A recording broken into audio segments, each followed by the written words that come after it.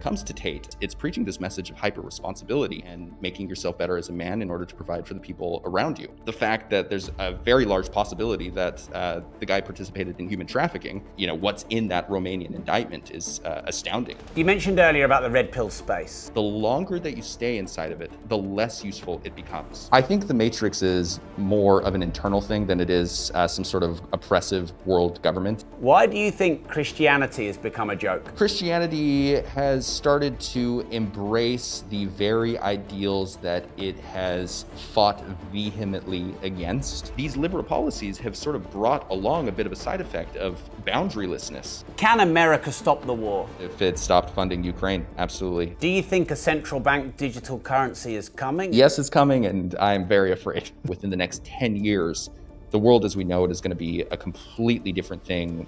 This is one of the most explosive conversations I have ever had. Come down the rabbit hole. If you'd like to show your support, make sure you like this video, subscribe to the channel, and turn the notification bell on. Who is the anti-prophet?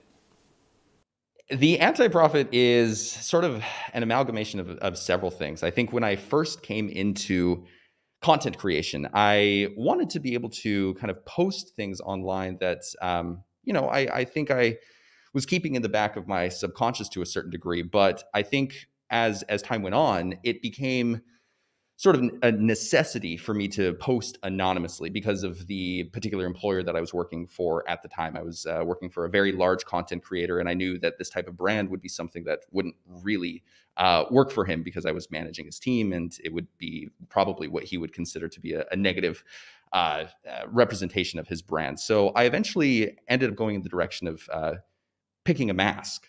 And I didn't really realize it at the time, but as, as time went on, I realized that the fact that I had picked a white mask was pretty intentional, at least at, on a subconscious level, because I think ultimately what it is that I'm trying to do with this channel is not necessarily convince anyone of anything in terms of like the opinions that I'm espousing as anti-prophet. I'm I'm basically just coming up, uh, talking into a camera, and uh, basically presenting ideas that you can either agree with or disagree with. But even in the case of disagreeing with me, you're sort of forced to articulate your disagreements to me, at the very least internally in your own mind.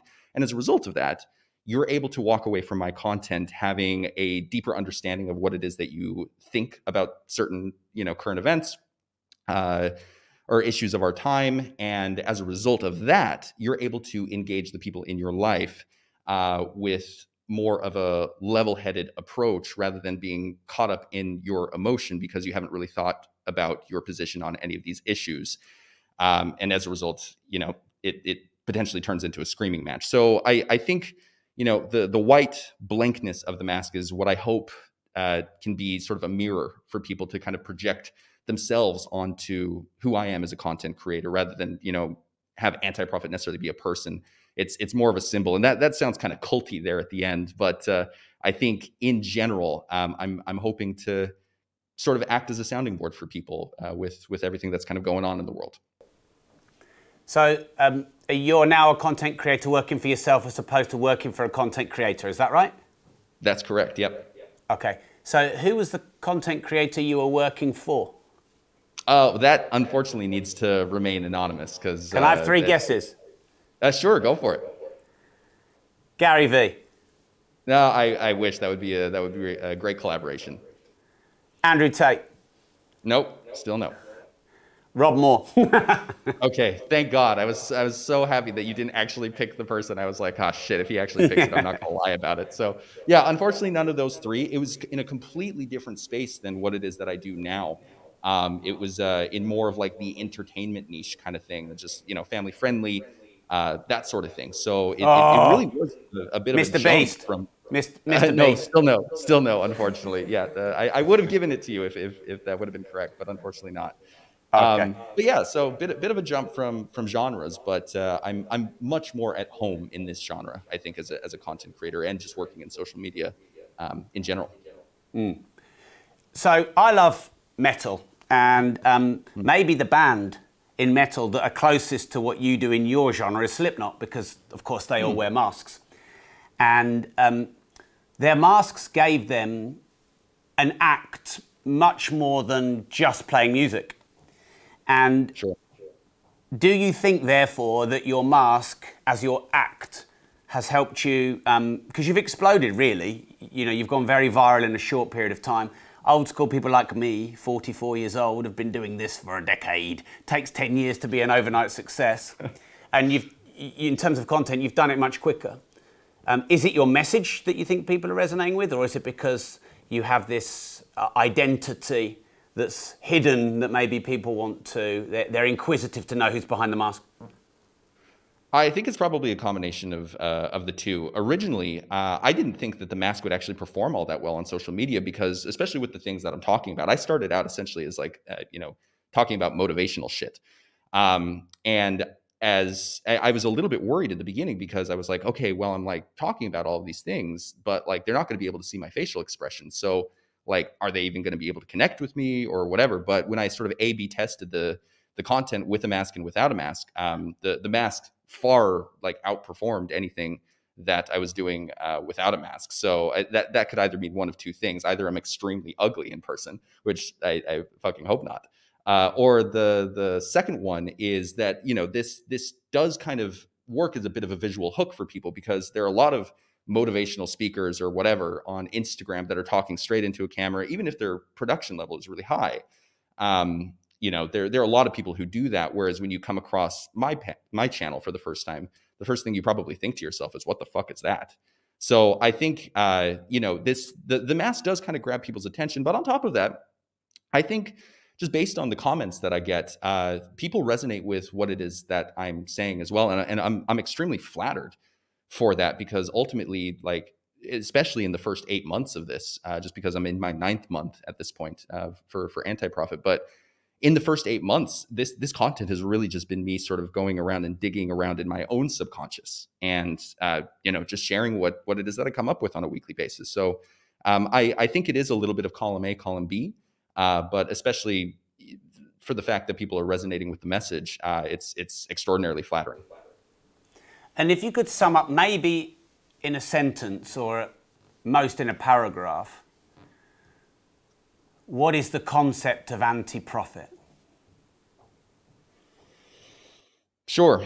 I think the concept behind anti-prophet is really just to exist to challenge your most deeply held beliefs uh, if if only for a moment. I think there's a lot of polarization in our culture at uh, at the moment, and I try and do my best to kind of almost play devil's advocate for for both sides to a certain degree. For example, I'm I'm really critical of like the red pill space, for example, and I'm also really uh, critical of uh, the uh, you know postmodern liberalist uh, uh, side of things in terms of politics is concerned.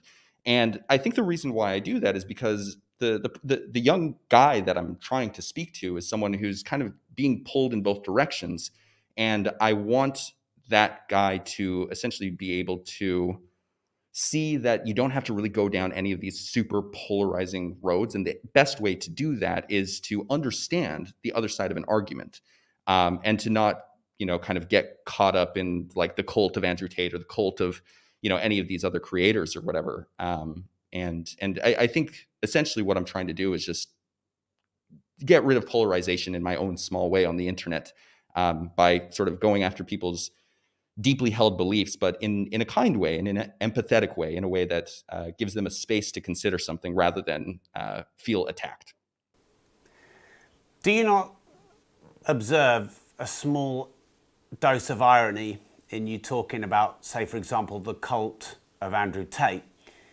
when you're a commentator who's commented on Andrew Tate? Uh, go a little bit deeper into what you mean by that.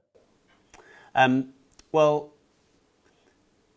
your content branded as anti prophet could be deemed as challenging our beliefs.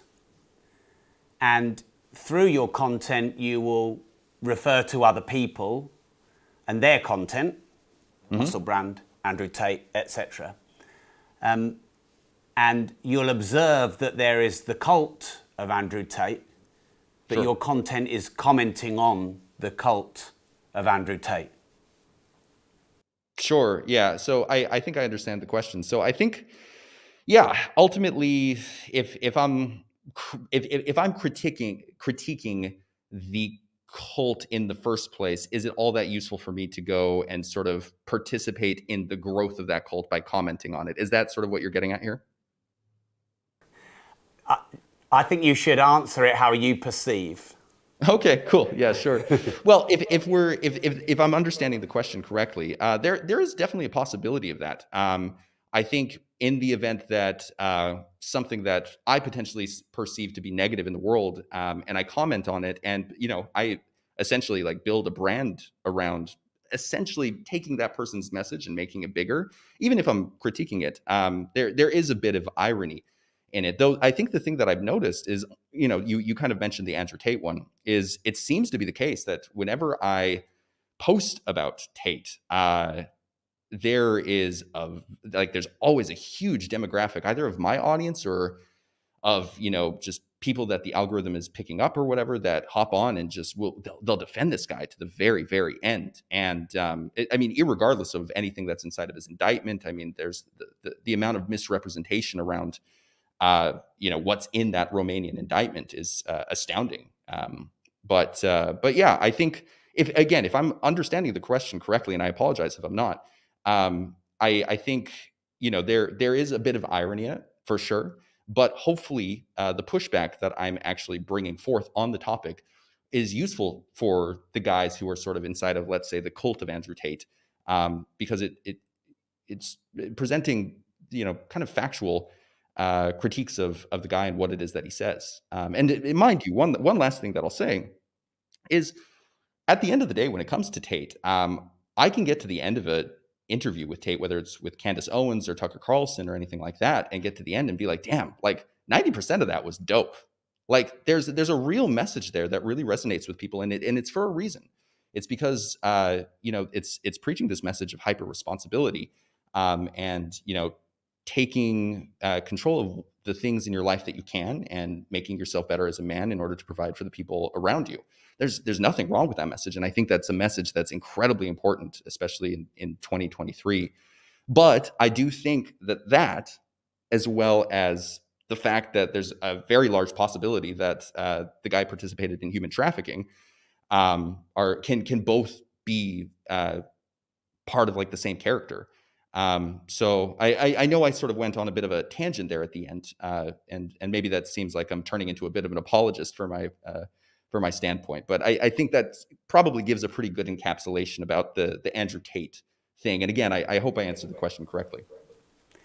Um, uh, in my opinion, how you answer the question is correct because I'm asking you. cool. All right. Excellent. so on this cult of Andrew Tate, as you call it, mm-hmm. why do you think the movement of Andrew Tate has been so pervasive? Why do people get so emotionally charged about what you call the cult of Andrew Tate?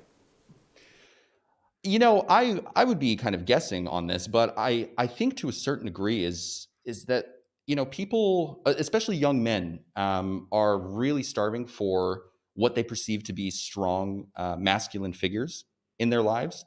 Um, you know, just even from my own perspective, I mean, uh, I love my dad to death, God rest his soul. But I mean, there were there were certainly elements of his parenting style and who he was as a man and how he behaved inside of my family that left a lot to be desired. Um, and I think a lot of guys, especially, uh, go throughout life with that kind of gap in their heart to a certain degree, and as a result, they come across this guy who isn't you know coming along uh, with like the me too movement saying like oh like men should like know their place. They should never like do this. They should never do that. And instead this guy is coming along and being like no fuck that. Like own who you are. Uh, you know get your fucking bag and uh, make something of yourself in the world. And if you can do that here are all of these great things that come uh, come along with this type of lifestyle.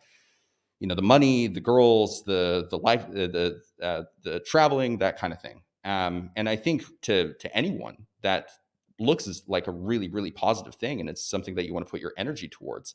I think the the place where I may be a little bit more critical of the idea of guys going in that direction, maybe on a more meta level, is I I, I think that there are potentially things in life that are a little bit more meaningful than uh, the hoes and and and the bag uh, that you can put your time and energy into pursuing that will allow you to get to age 80 age 90 and look back on your life and be like yeah you know i, I lived this the way that i really wanted to live it and I, I treated people right. So we're going to come back to tate hoes and bag later. Um, because look a lot of people in the world right now are making a lot of interviews about andrew tate and it's i think it's an amazing life documentary to observe but I want to talk to you because we're here. So we'll come back to that later. You said um, all this motivational shit.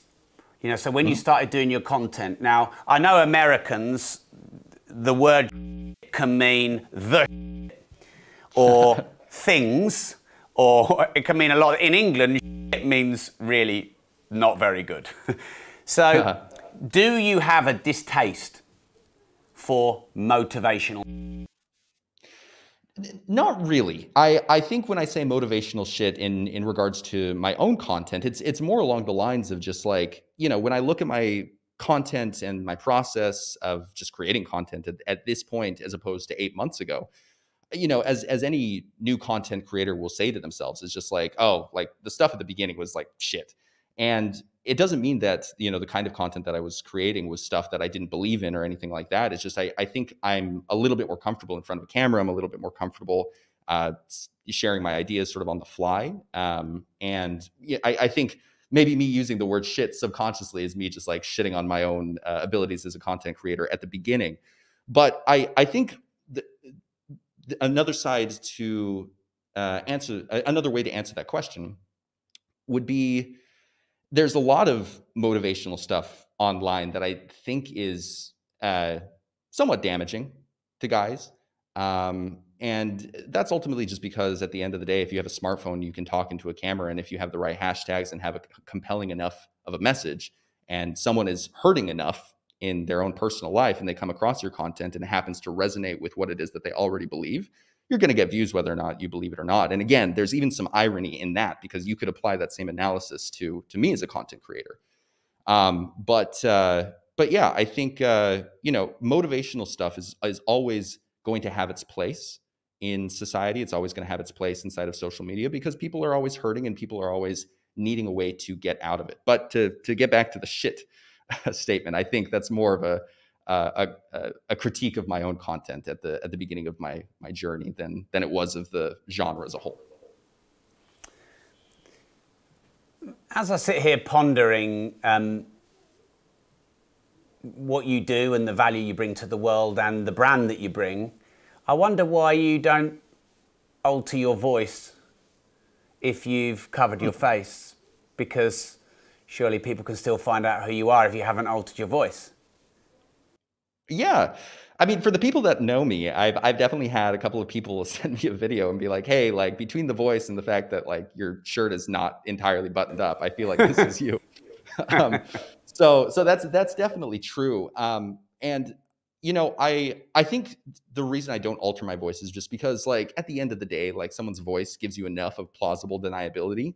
And I, I think another benefit to having this mask in the first place, let's say, is that there were things that I wanted to talk about from my past uh, with with people who kind of fucked me over to a certain degree, but I I had no you know motivation to really drag their names through the mud, um, just because you know they have jobs, they have real lives, and you know at this point we've gone our separate ways, and I wish them the best. And I while I want to be able to talk about these things because I feel like it would be useful for people, um, I uh, don't want to sully anyone's career as a result. So, uh, but again, I think the face does enough of keeping me anonymous in that realm of things, um, as opposed to you know my voice, which you know if you happen to recognize me, then you know fine, well done. But uh, but it, it keeps those people protected as much as I need it to at the end of the day. So you mentioned earlier about the red pill space.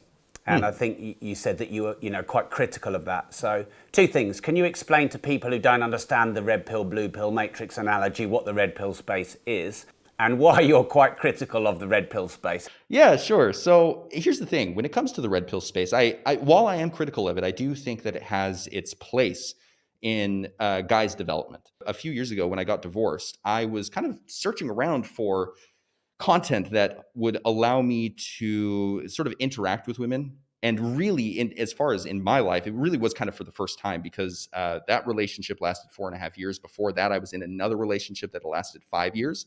And these were women that generally started up conversations with me. And here i found myself in the dating market. And you know i i had also been in a relationship where the the person took a lot more than they gave to the relationship, and that's that's a vast understatement. But just for the sake of keeping the conversation going, uh, they they took much more than they gave, and I think I was looking for a lot of answers as to why like women might do this type of thing, and whether or not other guys had run into that sort of thing as well. And as a result, finding the red pill space was very useful at the beginning of my trajectory, sort of out of despair and rebuilding myself.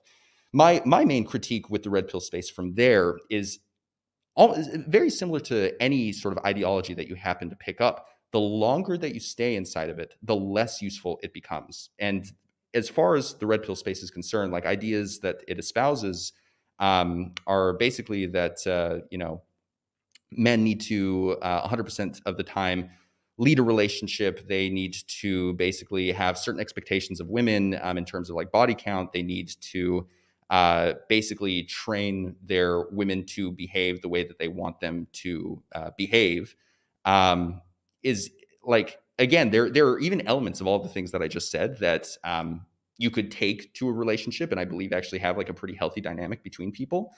But with the creators that uh, sort of uh, maintain a presence inside of these in, inside of this space they sort of become a bit of a one trick pony because there are only so many things to say on that level uh, without then leaving the red pill space. And I think a lot of these creators have built a brand around this type of thing. And so they harp on, you know, uh, women in a pretty negative way. And they build brands around bringing like in really stupid individuals and basically making them look ridiculous. Um, whereas I think, you know, most women that I interact with aren't these three or four hoes that you know have slept with like 100 guys have like absurd expectations when it comes to OnlyFans or any of these different things. Like most women are just kind of regular people that are like going about their lives. And I think if you take the red pill lens and view all women that way, you're you're just gonna kind of throw yourself into a hall of mirrors that you can't get out of. And I think that's where a lot of guys have sort of ended up. Um, so to briefly answer your original question, I'm so sorry. Red pill space uh, is kind of what I just said. Blue pill space, I would say, is very much along the lines of like, you know, uh, it's totally okay for like a woman to be like the main breadwinner in a household. Feminism is a good thing. Um, birth control has no negative side effects uh, in in terms of um, you know overall health and like who they actually end up like mating with, like that kind of thing. So I I, I think that gives a bit of a brief overview, but uh, hopefully one that uh, paints enough of a picture for the viewer here.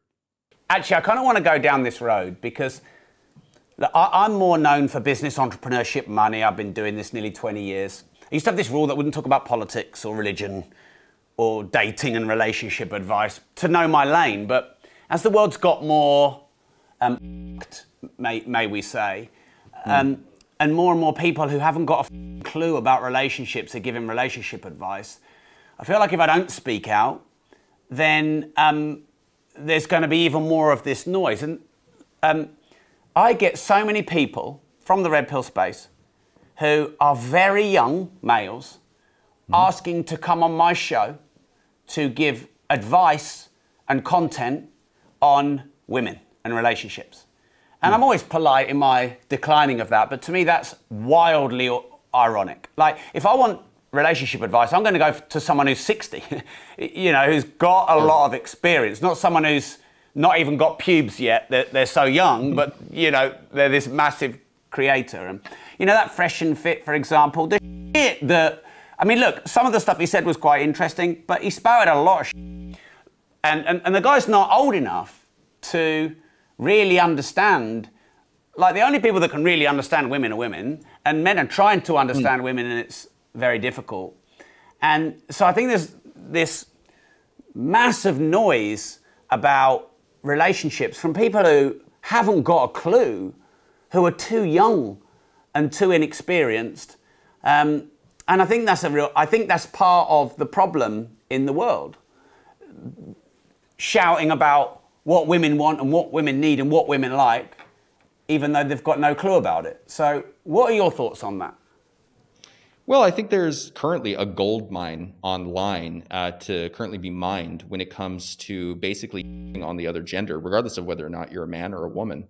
Um, and I think that has to do with uh, a growing, an ever growing schism of uh, just trying to figure out what our boundaries are as human beings in what is becoming a boundaryless world. I think one of the things about uh, you know the the current wave of like liberal policies and you know there's basically like the the fluidity of uh, gender identity, sexuality, any of it is that you know, while I'm never going to come across and basically say like, oh, like gay marriage should be like abolished or whatever, like these liberal policies have sort of brought along a bit of a side effect of boundarylessness, where there's there's no right for anyone to critique anyone because of this hyper individualistic uh, notion that we've all kind of gotten in our heads in the West, which makes sense that this is essentially where everything ended up leading because we are an individualistic society.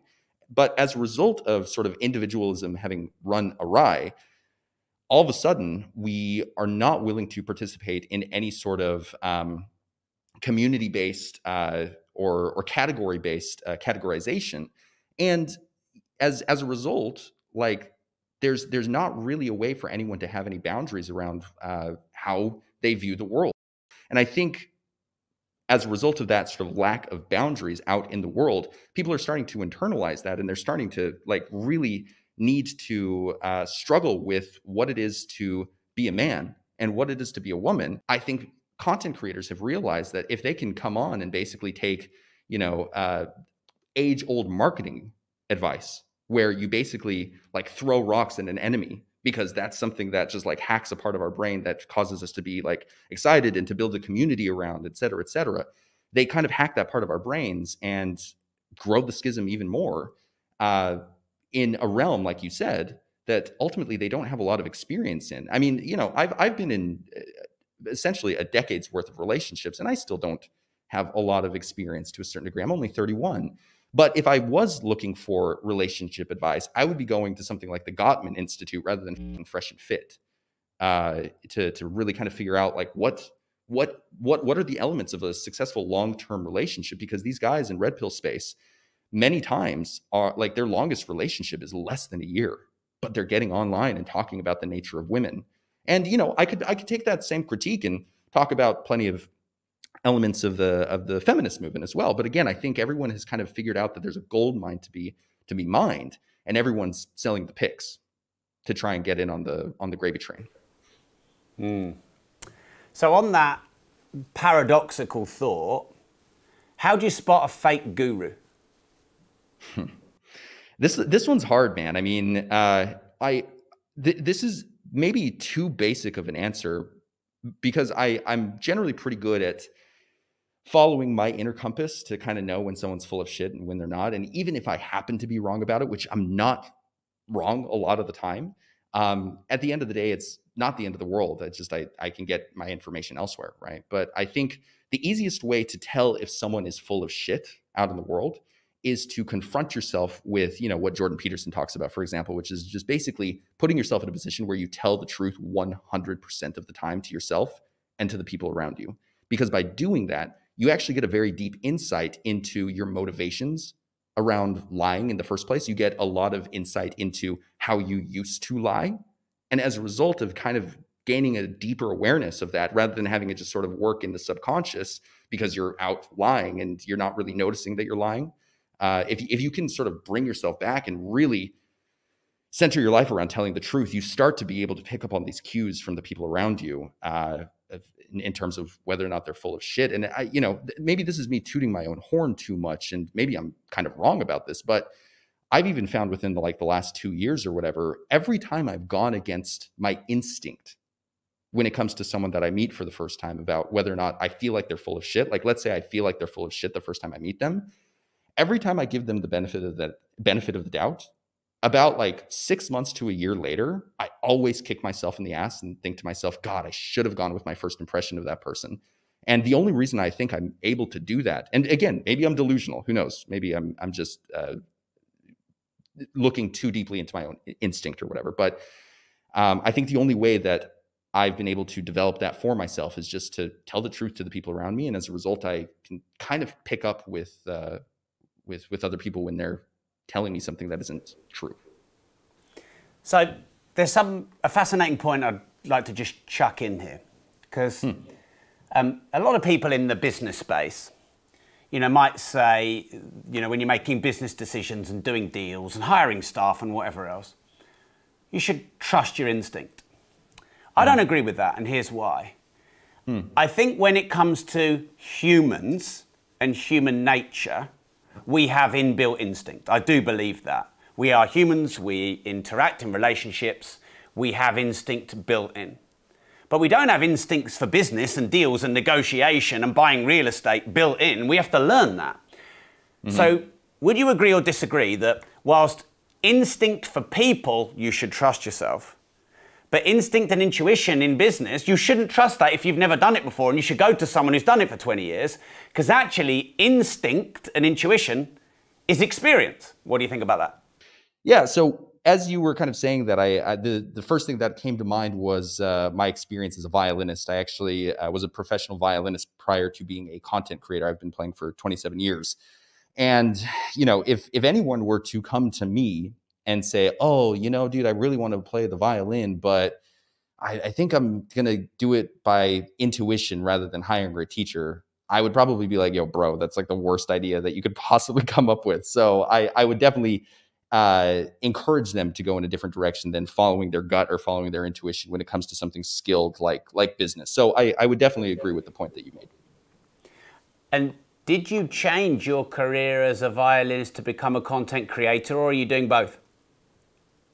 I changed it definitely. Um, I, you know, when I was a violinist, I was practicing anywhere between like four and six hours a day, and now I'm lucky if I get in 30 minutes every like month and a half. So I I love the violin. Uh, like I said, I've played it for a long time, and if there happens to be like a band at a at a bar and I happen to have my violin on me, I can still like hop in and and jam. But uh, but yeah, in terms of like the the way that I you know make a living at this point, and on top of that, uh, just what do I spend my day doing? Uh, violin has definitely taken a, a, bit of a back seat for now, and I, I don't think that'll be forever. I think at some point I'd actually love to integrate violin into what it is that I'm doing with Anti Prophet, but uh, I'm still trying to figure out how that would look, even for myself. Right, I want to explore this a bit because the originally my show, which started nearly nine years ago, hmm. um, was called The Disruptive Entrepreneur. It's now called Disruptors. But really, it was to help people start and scale their own business, you know, move from employed to self employed, to turn their passion into profession, uh, do what they love and love what they do. And like, I don't know what your parents think, but many might say that you are on crack cocaine to walk away from something that you're clearly amazingly good at and that you clearly could create an amazing career in 27 years, four to six hours a day. But you've put that down to go and make YouTube videos. I mean, this surely sh- shows how different the world is. Um, what would you say to that to parents of you or other people who might think people are mad to take that risk? Um, and how maybe the world has changed in how we make our living now? Sure.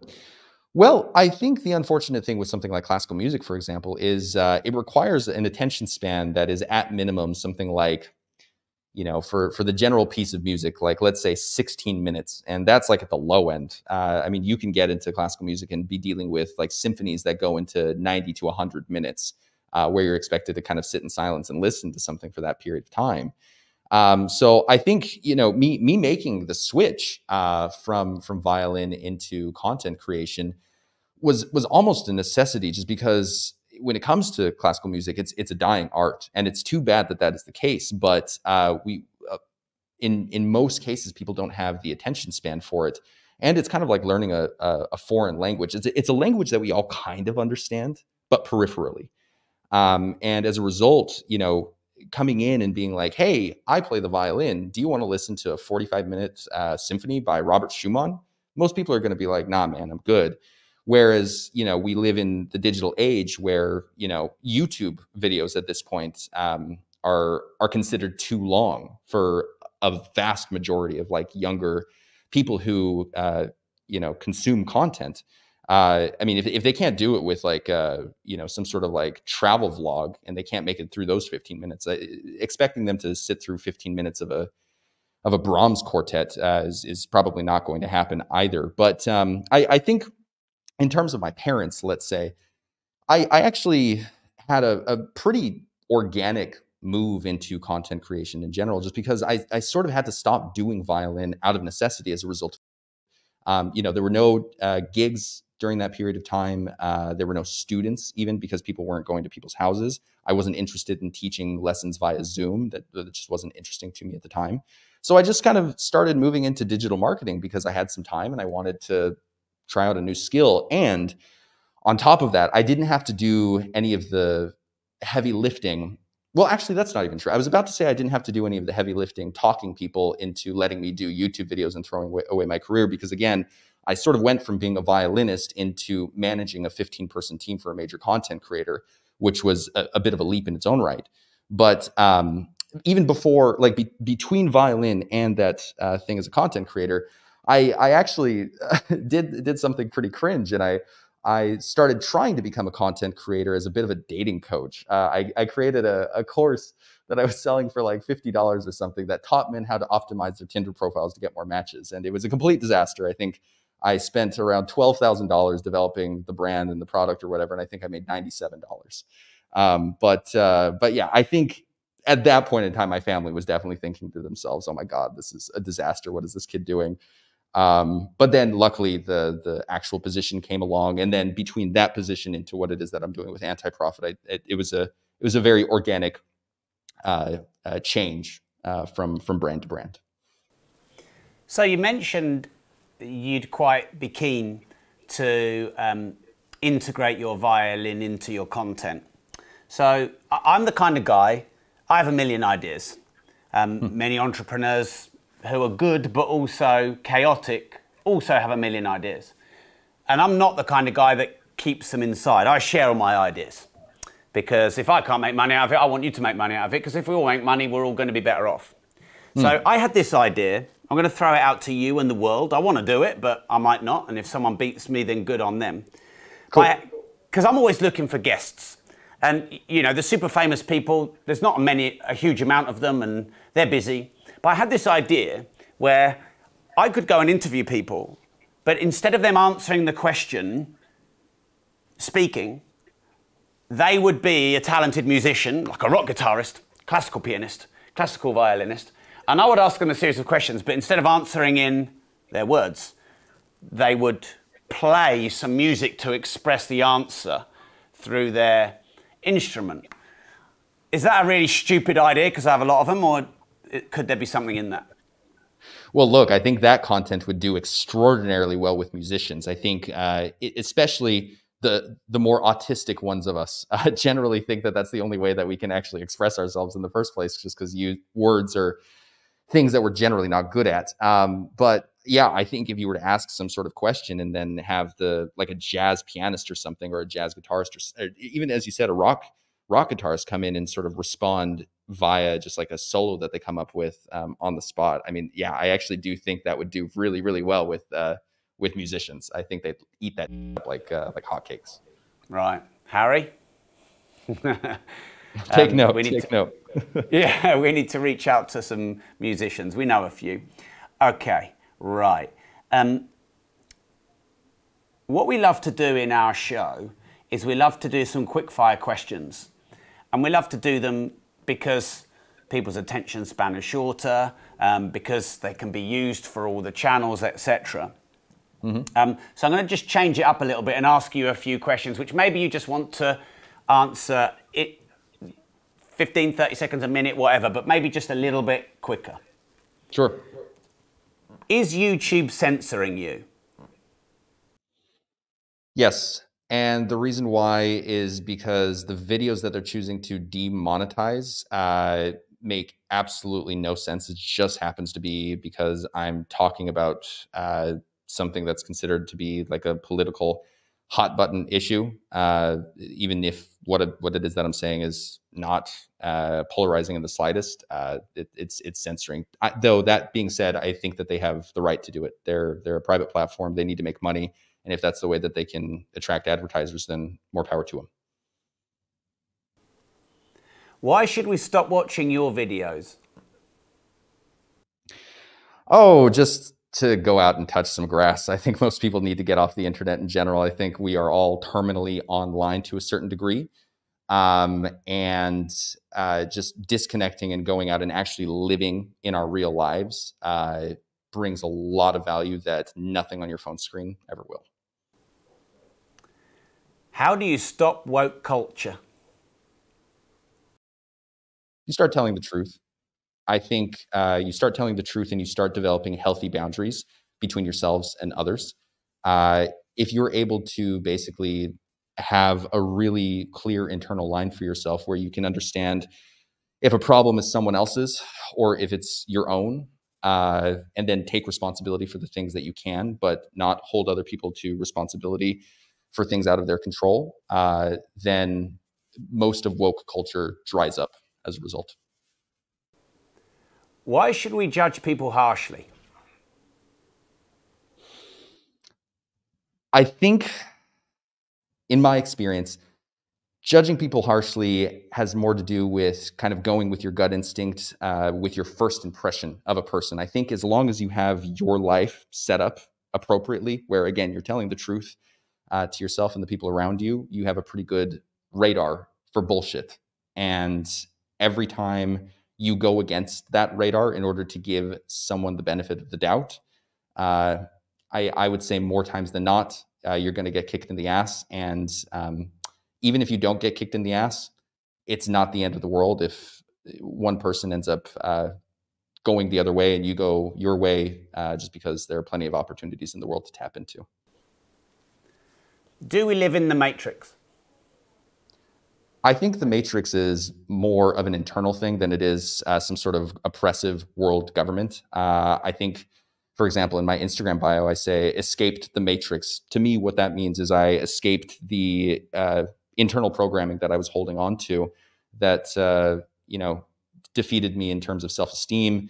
Uh, gave me a negative view of myself in the world. And by being able to surmount that, I was able to go out into the world and actually create the life that I wanted for myself. Would you rather have one million pounds or dollars or whatever currency in cash, or one million engaged followers of your content and why? Engaged uh, followers of my content because uh, the, the great thing about a personal brand, for example, is if you bring something that has legitimate value to market, it can be in any industry and it can be in vastly different industries. And your audience as long as they trust you and as long as you give them a reason to trust you by not bullshitting them, uh, those million people will give you a dollar at least over and over and over and over again. Um, and that that isn't manipulation on your end. Your job is to create legitimate value and to help people. And if you can do that, uh, you can do that 50 to 100 times uh, and you know turn those million followers into 50 to 100 million dollars as a result can money buy happiness? No, but it allows you to experience the happiness that you might have internally at a much higher level. money can't buy happiness, but it can buy Patek Philippe. Yeah, there you go.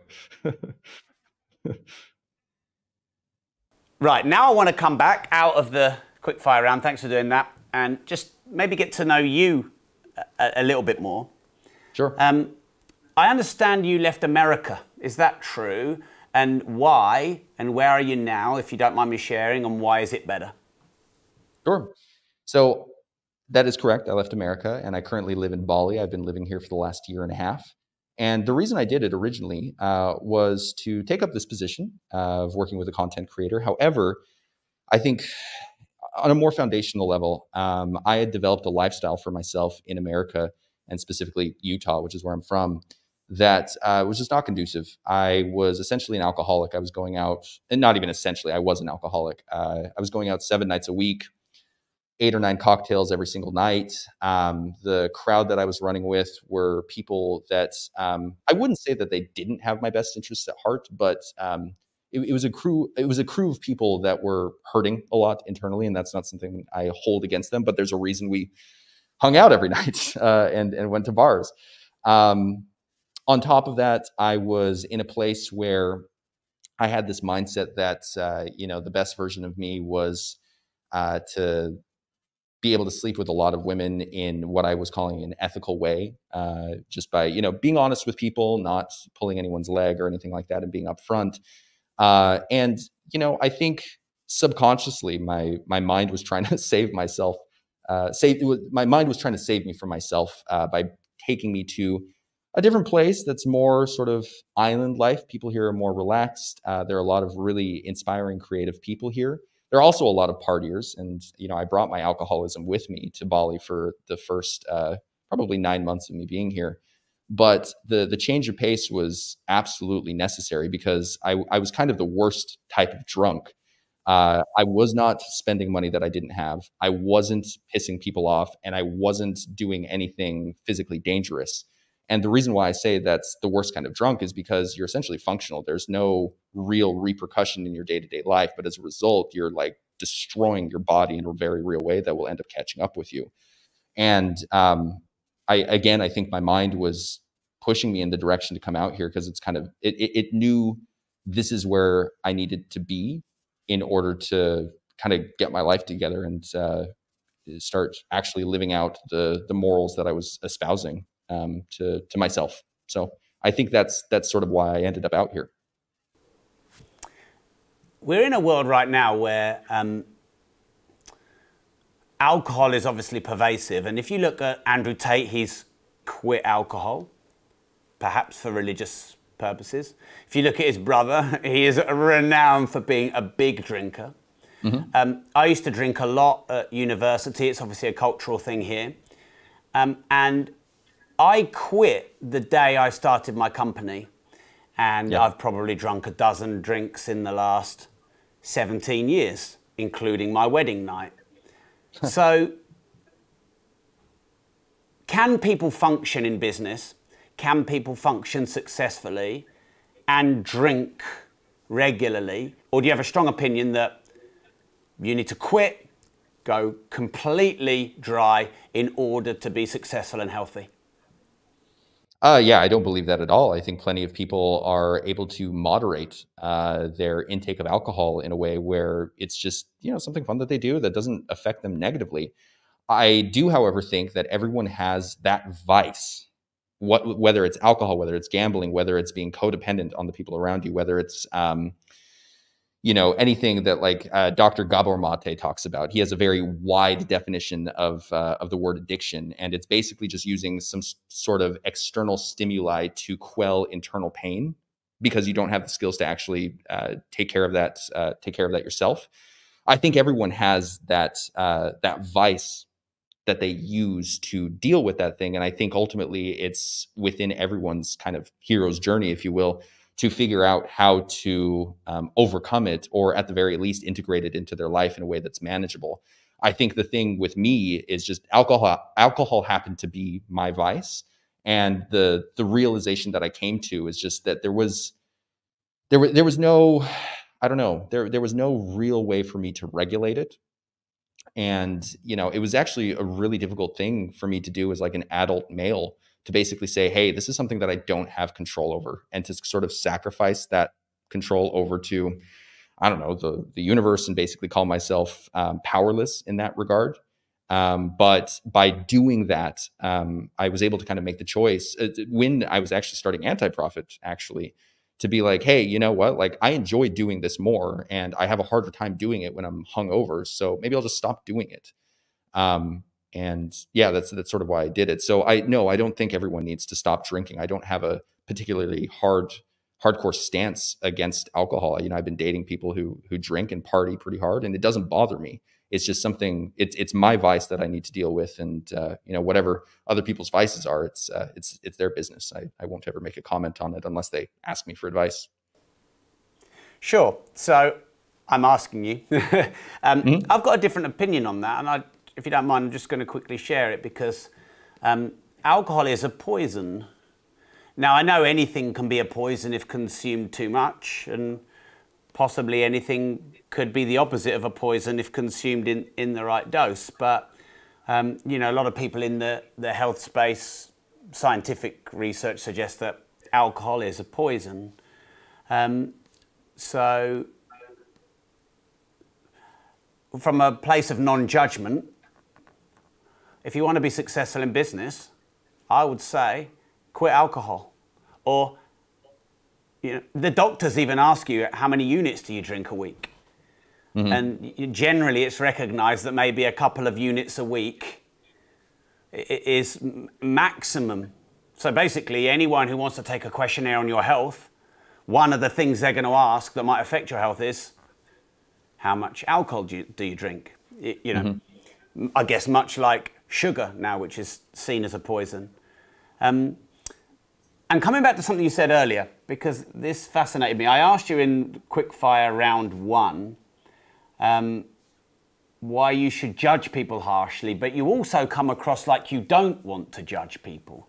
So mm. I hmm. find that a bit of a paradox that you're saying we should judge people harshly, but aren't we all just struggling to do our best in life and get ahead? And if we judge people too harshly, maybe are we prejudging their humanity? And, and should we maybe, would, would humanity be better if we judged a bit less harshly? What do you think? Sure. Yeah, that's that's definitely fair. And I I realized uh, on the second question that the uh, speed fire round was coming from titles of my videos, so uh, I, I, maybe would have answered it a little bit differently had I known that going into it.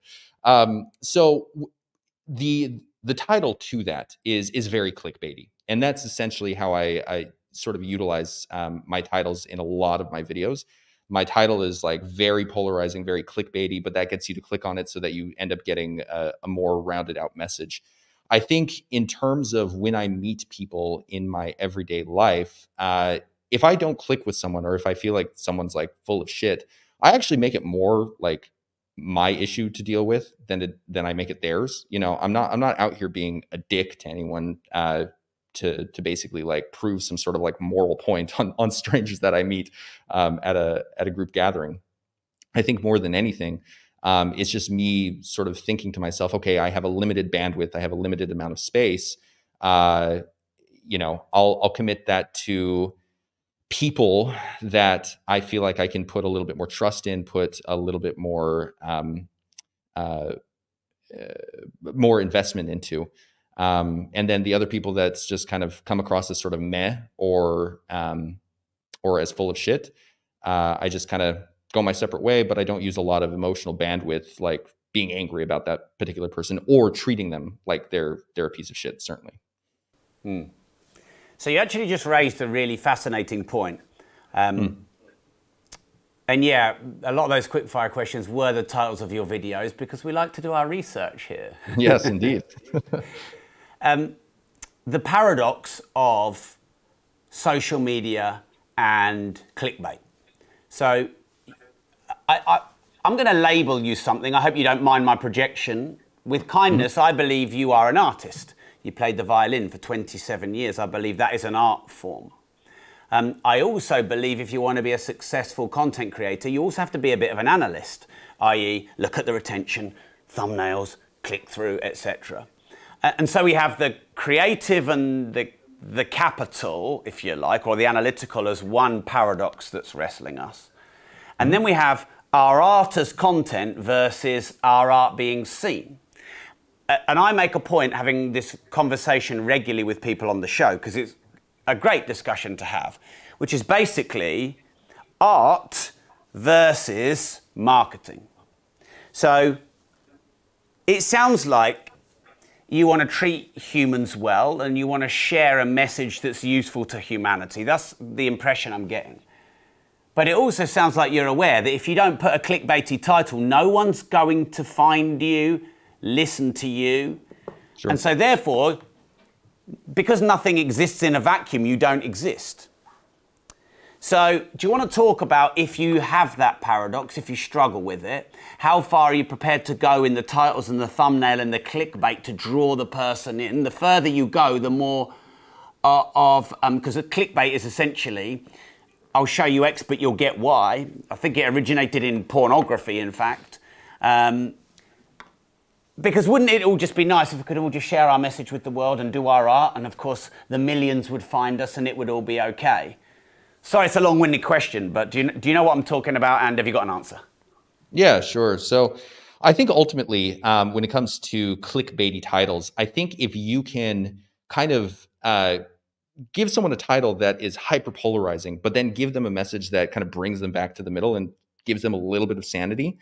In my mind, that clickbait is actually much more useful than you know something that we were seeing in like 2009, where it says like Granny sleeps with like 48 guys, you won't believe, and then it, you click on the thing and it's like a recipe for like kale, uh, for like some sort of kale recipe. Um, I, I think those two types of clickbait are are very separate things. But to sort of uh, address your question in terms of artistry, I, I think something that artists deal with a lot more than they should, or they wrestle with a lot more than they should, um, is the word should. Um, I think you know audiences should do a lot of things, but if an audience or uh, you know a crowd of people aren't behaving the way that you want them to behave with the message that you're presenting, the problem isn't the people. The problem is the way that you're presenting it. And, you know, I'm not even saying that on like moral grounds. It's just like whose responsibility is it for someone to be receptive to your message or your art? It's certainly not their fucking responsibility. They have uh, lives, they have limited bandwidth themselves. So, your job as a creator, as an artist, as uh, even as a person who's dedicated to the analytics on something like YouTube, is to figure out how to cut through the noise and to provide value to people by maybe giving them a clickbaity title that plays to their pre-established beliefs in my case but then takes them on a journey to something that's a little bit less polarizing and a little bit more grounded in reality. Um, so you know i i think yeah uh, when it when it comes to artists complaining about whether or not their art is understood because it's usually an indication that nobody cares about their art um, the only person that's going to fix that problem is the artist it's certainly not the crowd or society bending to the will of the artist by any means. Right. So, um, are we okay to f- finish on quick fire round two? Sure. Yeah. Let's do it. I, hopefully, I'm, I'm more prepared this time. Let's let's go for it. Preparation is so overrated. Indeed. Can America stop the war? I think it could if it stopped funding Ukraine. Absolutely. I think it would uh, dry up within a couple of weeks. Uh, yeah, I, I, think ultimately uh, the war in Ukraine is a proxy war between uh, the US and Russia. And whether or not it has its merits, I think you could make cases for both sides, including uh, the Russian side, which has to do with this fight against uh, hyperliberalism in, in the West. regardless of, of the merits of either side, um, if the funding stops, the war stops. And that would probably mean that Ukraine would have to cede territory over to Russia. But uh, it, it doesn't change the fact that the war would stop if the funding stopped as a result. So, why don't they stop the funding?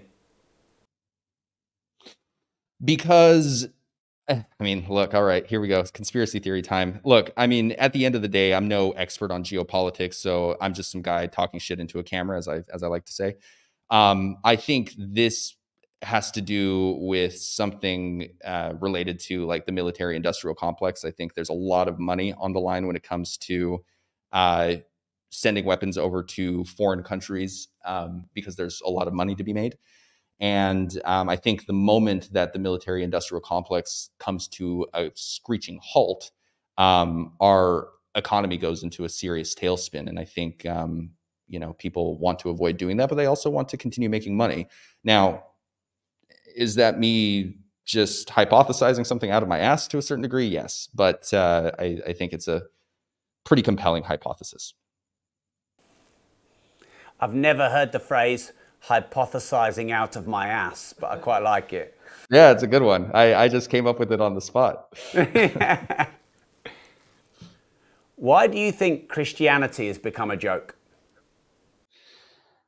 because Christianity has started to embrace the very ideals that it has fought vehemently against over the last 2,000 years. And I think that as a result of that, a lot of Christians and a lot of non-Christians are looking at Christianity and sort of laughing at it because like Christianity doesn't have any sort of spine to sit on top of anymore because it won't actually like stand up for the things that uh, it, it espouses in the modern world.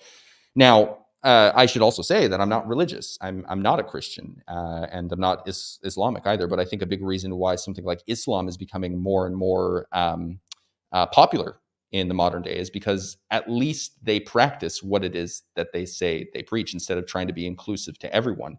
Do I think uh, being like excluding people is necessarily like the right way to go about things, especially if you're burning witches at the stake? No, uh, but at the same time, I mean, people value consistency in an age of just complete pandemonium. And if you can't keep that consistency within your religion and instead are basically trying to bow to the demands of outside social pressures in order to keep your tithing coming in because your church is going bankrupt, uh, then yeah, I, I think people have a right to call your religion a joke. Wow. Final question. Do you think a central bank digital currency is coming? And if you do, is this good for humanity? Yes, it's coming, and I'm very afraid. um, I, mean, look, man, it's uh, it. You know, we we see kind of what's going on over in uh, uh, communist China at the moment. Uh, it's just people are being uh, actually separated from certain elements of society based on the social views that they hold. Um, if they happen to jaywalk uh, and a camera catches them, which at this point cameras can not only identify people by their faces but by their walking patterns. Um, and as a result of that, you know, pictures are essentially being sent to that person, to the person's community in order to shame them, and their social credit score goes down, and it changes the way that they're actually able to spend their money. Um, I, I, think all of this stuff is coming down the pipeline, and I think you know within the next ten years, the world as we know it is going to be a completely different thing. One that is akin to more, in my opinion, at least in the West, is going to be more akin to something like Brave New World, where we're basically uh, coddled into comfort in order to extract the highest amount of profit from us. And I think if you can uh, disincentivize people breaking out of that coddling of the American mind uh, by basically threatening to uh, shun them from society by restricting their currency because it's all controlled uh, digitally in a in a centralized location. Uh, it, that's that's that's a scary future, and I I, I do think it's coming. Um, yeah, I, that's what I have to say. hmm. So this show is called Disruptors. What does the word disruptive mean to you? That's a good question. I was actually thinking about that uh, when you first uh, uh, when you guys first invited me to the show.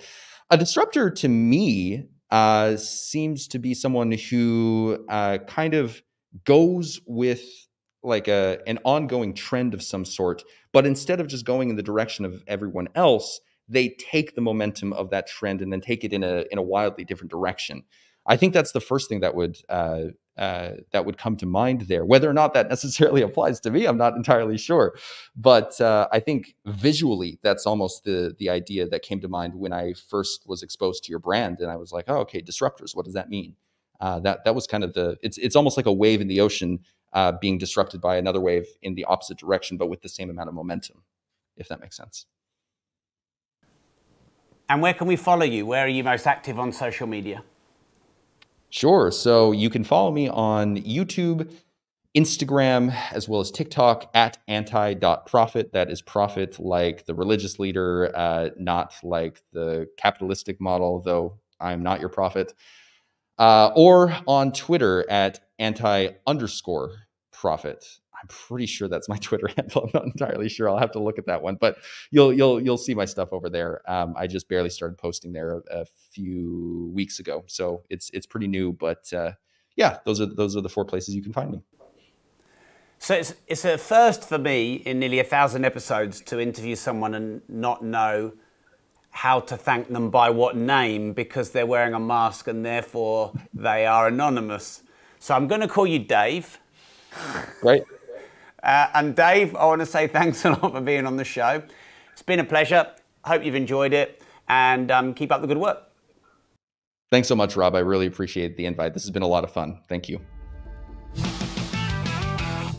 If you'd like to show your support, make sure you like this video, subscribe to the channel and turn the notification bell on.